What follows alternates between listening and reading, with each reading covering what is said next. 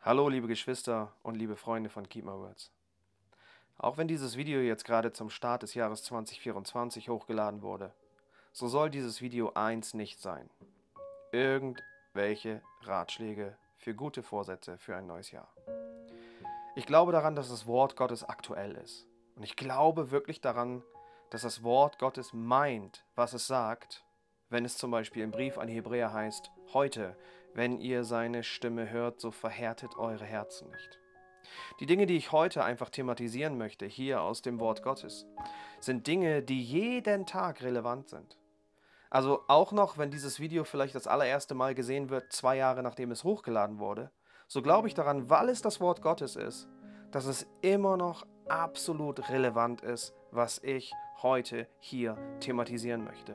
Und ich möchte dich ermutigen, dass du dich vom Wort Gottes herausfordern lässt, diese Dinge, die wir betrachten, in deinem Leben umzusetzen. Man muss noch nicht einmal ein gottesgläubiger oder gottesfürchtiger Mensch sein, um feststellen zu können, dass die Welt, in der wir uns jetzt befinden, die Zeitepoche, in der wir jetzt angelangt sind, dass es einfach nur eine verrückte und kaputte Welt ist. Diese Welt, in der wir leben, diese Zeit, in der wir leben, ist so verrückt, so gewalttätig, so blutrünstig, so verlogen, so manipulativ, so abgrundtief hässlich und böse, dass man es mit Worten kaum beschreiben kann. Die Dinge, die vor unseren Augen geschehen, lassen einen wortwörtlich das Blut in den Adern gefrieren. Ja, es sind die Dinge, von denen Jesus gesagt hat, dass sie kommen werden. Es sind Dinge wie Kriege, die wir gerade vor unseren Augen entfesselt sehen. Überall auf der Welt sind Kriege im Gange, überall auf der Welt schlachten sich Menschen ab, überall auf der Welt ist Blutvergießen. Und wir sehen, wie sehr diese Welt immer mehr in eine Abwärtsspirale, immer weiter runter, immer weiter runter ins Verderben geht. Und natürlich kann man sagen, ja, das ist diese böse Welt, in der es so böse zugeht. Ja, es sind Politiker, die kein Wort der Wahrheit mehr rausbringen, sondern einfach nur noch lügen und Lüge gesellschaftsfähig machen. Ja, es ist eine Gesellschaft, die von Gott abgefallen ist, die in Homosexualität und, und, und, und jeder sexuellen Sünde irgendwo verstrickt ist. Es ist eine Welt, die so gewalttätig ist, dass sie nur noch mordet, wo es geht und vor Kleinkindern und, und selbst Babys keinen Halt mehr macht. Ja, das kann man sagen, aber und das ist der Punkt, auf den ich heute so ein bisschen kommen möchte, ist eigentlich das, was uns auch die Bibel voraussagt in dem Brief an die Thessalonicher, nämlich der Abfall der Gläubigen von dem lebendigen Gott. Wir sind in einer Zeit angekommen, wo es mehr Gottlosigkeit in den sogenannten Kirchen gibt als in der Welt. Wir sind in einer Zeit angekommen, wo es so viel Heuchelei gibt, wo so viel Gutgläubigkeit gespielt wird und so wenig von echter Gottesfurcht vorhanden ist. Wo die Gemeinde Gottes zu einem Schauspiel und zu einem Theater geworden ist. Ja, wortwörtlich zu einem Schauspiel und einem Theater geworden ist, wo Menschen an einem bestimmten Tag in der Woche für eine kurze Zeit in ein Gebäude strömen, sich in Kinosessel setzen und dann meinen, sie würden Gott damit dienen wo selbst unter denen, die sich gläubig nennen, Sünde salonfähig ist, wo das Wort Gottes mit Füßen getreten wird, sich jedem Wind der Lehre hingegeben wird, aber nicht mehr auf das geachtet wird, was uns das Wort Gottes eigentlich sagt.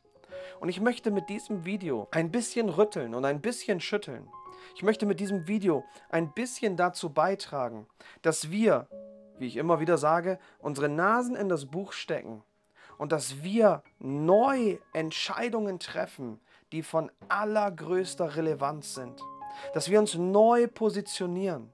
Wenn du den Anspruch erhebst, dass du ein Kind Gottes bist, wenn du von dir sagst, Jesus Christus ist mein Herr, und wenn du meinst, dass Gottes Furcht dein Herz erfüllt hat, dann bitte ich dich, ja, dann, dann fordere ich dich heraus, komm, lass uns in das Buch schauen und lass uns sehen, was dieser Gott für uns hat. Ich möchte mit diesem Wort, das ich heute bringe, mit dem, was ich heute betrachten will im Wort Gottes, möchte ich eines bei uns bewirken. Das ist mein Wunsch. Ich weiß nicht, ob ich das kann. Ich brauche die Gnade Gottes dazu. Aber ich möchte bewirken, dass wir erneut herausgefordert werden, unser Leben in die Waagschale zu werfen und zu sagen, hey, mit mir nicht, ich möchte kein Teil des Problems Gottes sein. Ich möchte kein Teil des Widerstandes gegen die Wahrheit sein, sondern ich möchte als ein Jünger von Jesus leben und ich möchte in meine Berufung hineinkommen. Ich möchte das erfüllen, was das Wort Gottes von meiner Person, von mir als Kind Gottes sagt. Ich möchte hineinkommen in das, was das Wort Gottes für mich hat. Und wenn du sagst, hey, das will ich, dann lass uns zusammen das Wort Gottes schauen. Ich möchte eigentlich im Kern zwei Dinge mit uns betrachten. Einmal, wie stehen wir als Kinder Gottes, als Jünger von Jesus in dieser Welt da? Ja? Und ich möchte dazu so ein bisschen auch das Thema Sünde betrachten und wie gehen wir mit Sünde um. Und zum anderen möchte ich deine zukünftige Perspektive einfach betrachten. Und zwar ganz besonders im Hinblick auf Entscheidungen, die zu treffen sind. Okay, das erste einmal ist das Thema Sünde. Wie gehen wir mit Sünde um?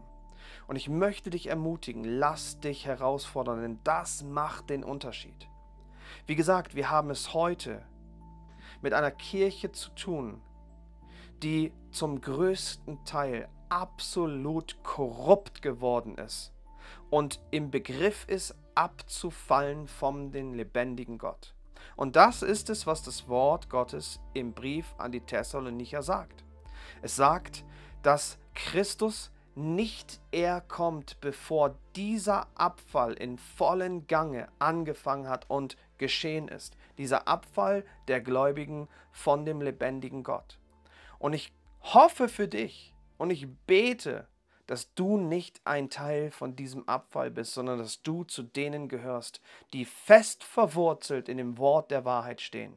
Aber, und das ist der Punkt, um den es geht, wenn wir sagen, wir wollen nicht zu dem Problem Gottes gehören, wir wollen nicht auf der Seite derer sein, die von dem lebendigen Gott abfallen, dann müssen wir unser Herz in der Wahrheit baden und wir müssen Männer und Frauen sein, die ein wahrhaftiges, authentisches Leben in der Gottesfurcht leben.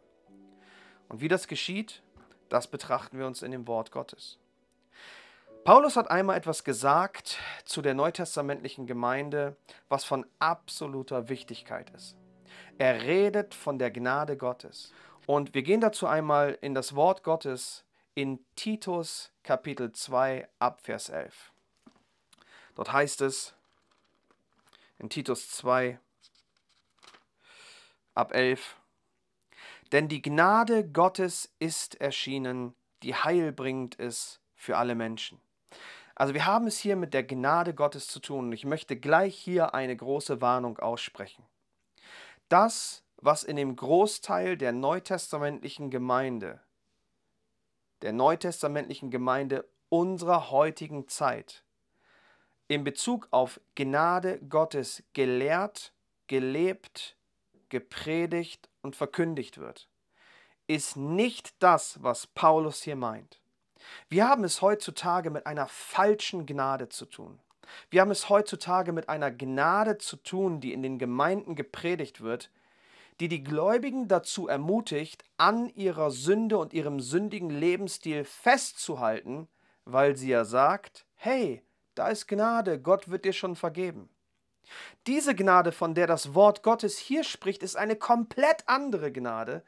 Und wenn du dieses nicht siehst, dass es hier nicht um diese billige Gnade geht, sondern dass es hier um eine wirklich herausfordernde Gnade geht, dann bist du schon in der Gefahr, in diesem Strudel, in diesem Strom des Abfalls von dem lebendigen Gott und dem lebendigen Wort dich zu befinden. Hier heißt es von dieser Gnade, denn die Gnade Gottes ist erschienen, die heilbringend ist für alle Menschen. Es ist Gottes Gnade und sie ist heilbringend für alle Menschen, also auch für dich und für mich. Aber jetzt heißt es von dieser Gnade, sie nimmt uns in die Zucht, sie ermahnt uns, sie lehrt uns, sie nimmt uns in die Zucht, damit wir etwas ganz Besonderes tun. Es heißt hier, damit wir die Gottlosigkeit und die weltlichen Begierden verleugnen und besonnen und gerecht und gottesfürchtig leben in der jetzigen Weltzeit. Wir sehen also, dass diese Gnade, von der der Apostel Paulus hier zu Titus spricht und somit auch zu uns spricht, zu der neutestamentlichen Gemeinde spricht, dass es eine ganz besondere Gnade ist, nämlich eine Gnade, die uns in die Zucht nimmt. Es ist eben die Gnade, die uns nicht erlaubt, mit Sünde lieb zu äugeln. Es ist die Gnade, von der Jesus Christus gesprochen hat, als er sagte, wenn dich dein Auge zur Sünde verführt, so reiße es raus, denn es ist besser für dich, dass du einäugig in das Reich der Himmel gehst, als mit zwei gesunden Augen in die Hölle. Jesus sagt, da ist Gnade für uns, der Sünde zu widerstehen, aber es geht nicht kampflos, es geht nicht, wie in diesem Kontext gesagt, ohne die Zucht Gottes, ohne dass wir von dieser Gnade in die Zucht Gottes genommen werden. Und es heißt dann weiter, ja, dass wir die, die, die weltlichen Begierden und die Gottlosigkeit verleugnen und besonnen und gerecht und gottesfürchtig leben in der jetzigen Weltzeit. Es ist für heute, für hier und jetzt. Es ist genau das, was uns eigentlich der Brief an die Hebräer sagt, wo es heißt, heute, wenn du seine Stimme hörst, so verhärte dein Herz nicht. Es heißt weiter dann im Vers 13, wie sollen wir mit dieser Gnade umgehen? Wie sollen wir in der jetzigen Weltzeit leben? Es heißt in Vers 13, indem wir die glückselige Hoffnung erwarten und die Erscheinung der Herrlichkeit des großen Gottes, unseres Retters Jesus Christus.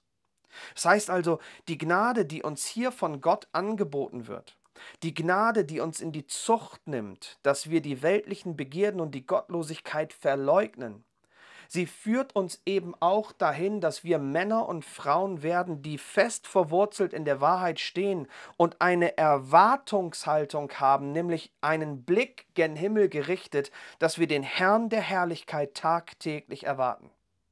Und ich möchte dich dazu ermutigen und ich möchte dich dazu herausfordern, dass du ein Leben lebst, das jeden Tag und jede Sekunde mit der Offenbarung Jesu Christi rechnet. Ich rede jetzt nicht hier von einem Zeitpunkt, äh, der Entrückung vor oder äh, inmitten oder nach der großen Drangsal. Hey, darum geht es jetzt gar nicht. Du weißt nicht, wann dein letzter Atemzug kommt und du vor diesem Herrn und Heiland, vor diesem Richter der Lebendigen und der Toten einmal stehen wirst.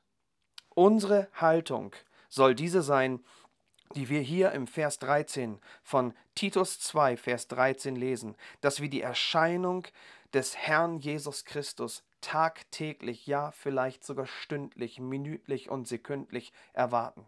Die Haltung in unserem Herzen soll die sein, dass wir alle Zeit bereit sind, Rechenschaft zu geben über den Glauben, der in uns ist. Und nicht eines Menschen, sondern unserem Herrn Jesus Christus, dass wir einmal vor ihm stehen können. Und dass wir einmal vor ihm stehen können und ihm, ihm Rede und Antwort geben können, ohne Furcht, weil wir wissen, wessen Geistes Kinder wir sind. Es heißt in Vers 14 dann weiter von diesem Herrn Jesus Christus, der sich selbst für uns hingegeben hat, um uns von aller Gesetzlosigkeit zu erlösen und für sich selbst ein Volk zum besonderen Eigentum zu reinigen, das eifrig ist, gute Werke zu tun. Hier heißt es also, er, Jesus Christus, er hat sich selbst am Kreuz von Golgatha für uns hingegeben damit wir befreit werden können von dem, was uns in Sünde und in Knechtschaft halten will. Und er hat sich nicht nur hingegeben, dass wir befreit werden können, sondern er hat sich für uns als Lösegeld hingegeben, damit wir von der Knechtschaft der Sünde befreit werden, damit wir befreit leben. Und das Leben eines Kindes Gottes, und das ist es, worauf ich hinaus will, das Leben eines Kindes Gottes, das heute, hier und jetzt im Jahr 2024 gelebt ist, ist ein Leben, das einen Unterschied zu der Welt macht.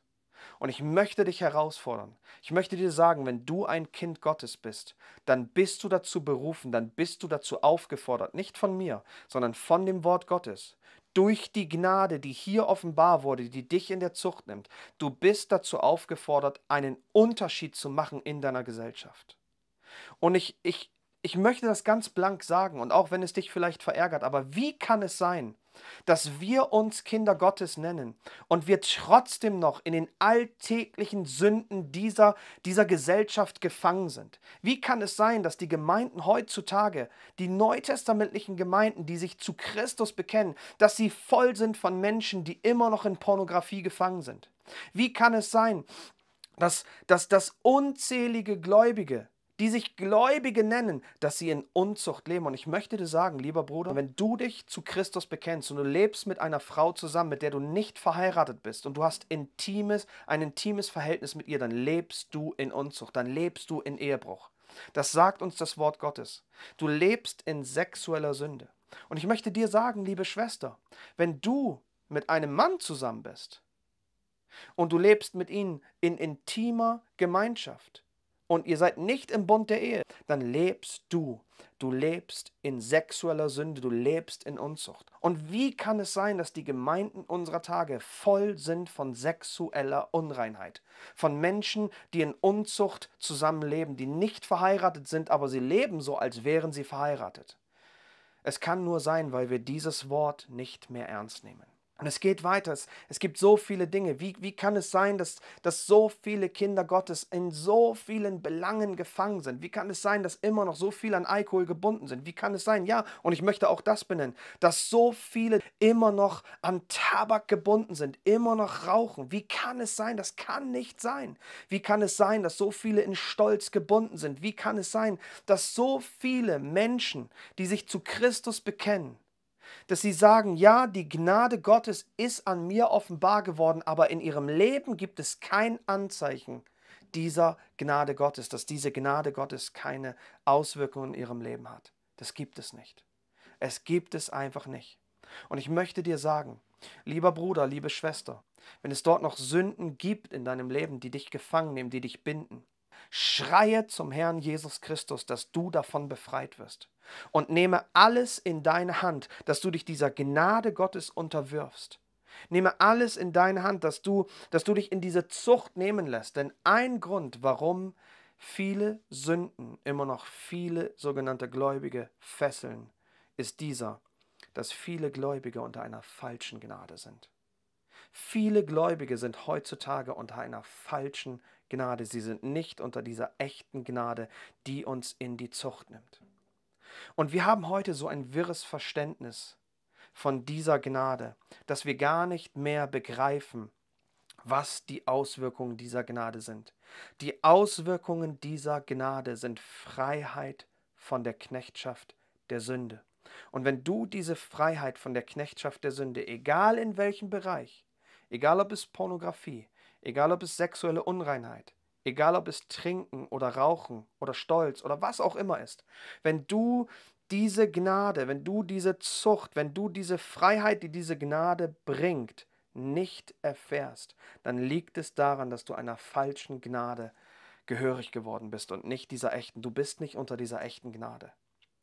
Ihr Lieben, die Männer alter Zeit, ja, die Lehrer alter Zeit, ich sag mal so, ähm, ein Spurgeon, ein, ein Oswald Chambers, ja, ein John Knox oder, oder wie sie auch alle heißen, die hatten ein ganz anderes Verständnis von dieser Gnade. Ich möchte euch einmal ähm, vorlesen, was beispielsweise Spurgeon, ja, was Spurgeon sagt von dieser echten Gnade. Spurgeon sagt folgendes. Ich lese aus dem Buch ähm, Kleinode göttlicher Verheißung. Ja, und Spurgeon sagt hier, wenn eine Sünde die Herrschaft über uns hat, sind wir nicht mehr die Freien des Herrn.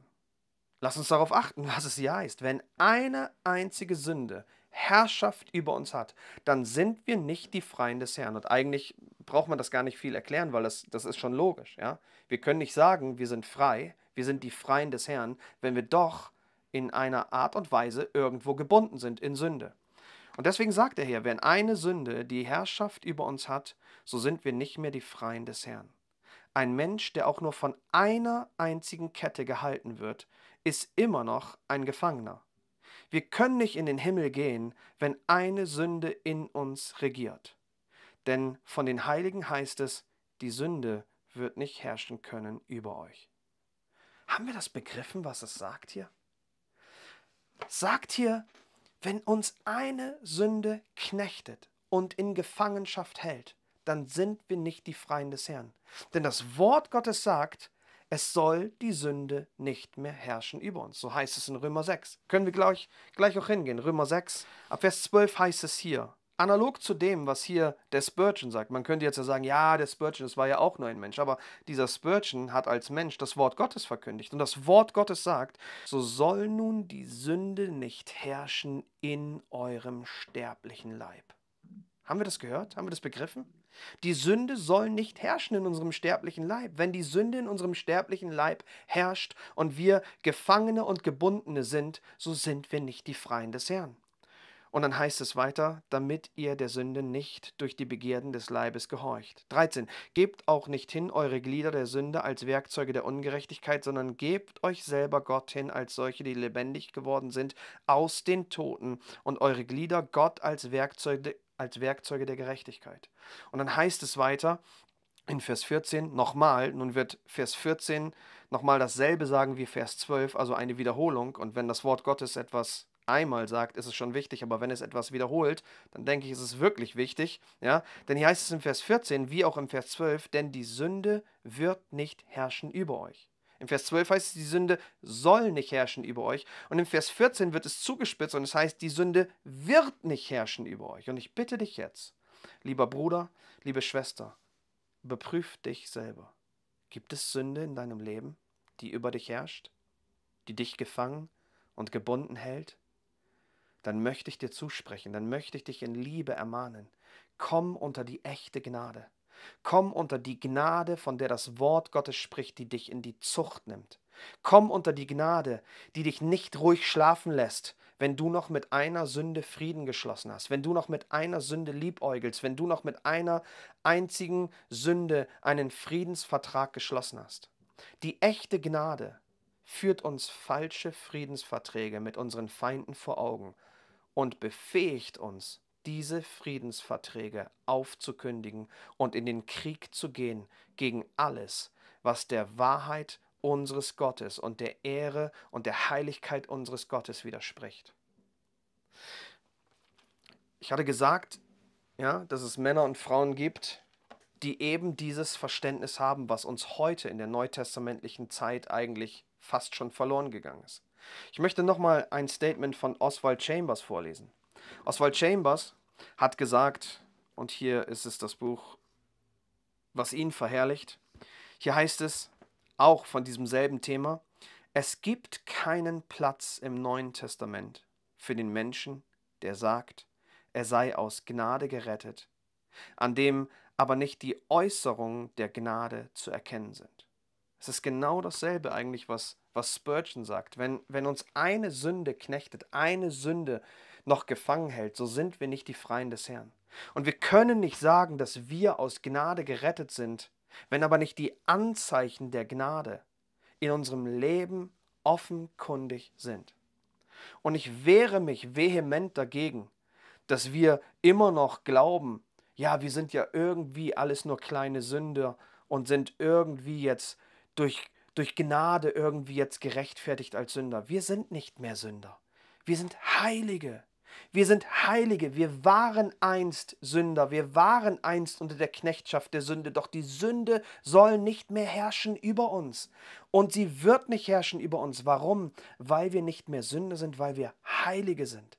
Christus hat am Kreuz für uns alles erwirkt, damit wir in den Stand dieser Männer und Frauen Gottes kommen können, die nicht mehr Sünder sind, sondern die Heilige und Gerechte sind und die nicht mehr unter der Herrschaft der Sünde leben müssen. Okay, genug gesagt zu diesem Thema. Ich möchte dich einfach mit dieser Sache ermutigen. Komm, komm heraus, komm heraus und komm unter diese Gnade, die uns Gott durch sein Wort und durch das, was er in Christus Jesus auf Golgatha getan hat, heute anbietet. Das Zweite, worauf ich jetzt eingehen möchte, und somit auch das Letzte, mit dem ich schließen möchte, ist, ich möchte dich herausfordern, neue Entscheidungen zu treffen. Ja, und ich möchte es ganz bewusst sagen, auch wenn dieses Video, wie gesagt, 2024 rausgekommen ist, so ist es bestimmt kein Video, ja, dass jetzt einfach zum, zum Start des neuen Jahres einfach irgendwelche guten Vorsätze oder Vorschläge für gute Vorsätze rausbringen will. Das möchte ich nicht. Ich glaube daran, dass wir als Kinder Gottes dazu berufen sind, jeden Tag Entscheidungen zu treffen. Jeden Tag wichtige Entscheidungen zu treffen. Und ich möchte dich einfach ermutigen, dass du jetzt anfängst und dass du Entscheidungen triffst, auch im Anbetracht der Zeit, in der wir uns befinden, auch im Anbetracht all dieses Chaos, das in dieser Welt los, los ist. Ich möchte dich ermutigen, triff lebensverändernde Entscheidungen. Ich hoffe, ich hoffe, dass du zu denen gehörst, die sagen, ich habe einfach genug davon, mich Jahr für Jahr im Kreis zu drehen. Ich habe genug davon, Jahr für Jahr immer nur dasselbe irgendwie zu tun, einfach nur zu überleben, einfach nur, einfach nur ein, ein Leben als ein Jünger von Jesus zu führen, dass das irgendwie nur darum sich dreht, zu überleben. Ich möchte endlich in die Berufung hineinkommen, die Gott für mich hat. Aber dazu braucht es lebensverändernde Entscheidungen, mutige Entscheidungen auf deiner Seite. Wenn wir in das Wort Gottes gehen, dann lesen wir im Hebräer 11 etwas vom Glauben und von den Glaubenshelden.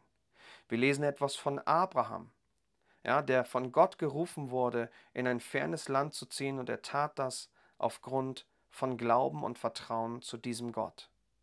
Wir lesen von Mose, der, obwohl er sozusagen am Hause des Pharaos, am Hofe des Pharaos als ein Familienmitglied der königlichen Familie dort ja, gelebt hat, der dieses alles verlassen hat, um in Schmach und Verfolgung mit den Kindern Gottes, den Kindern der Verheißung zusammenzuleben.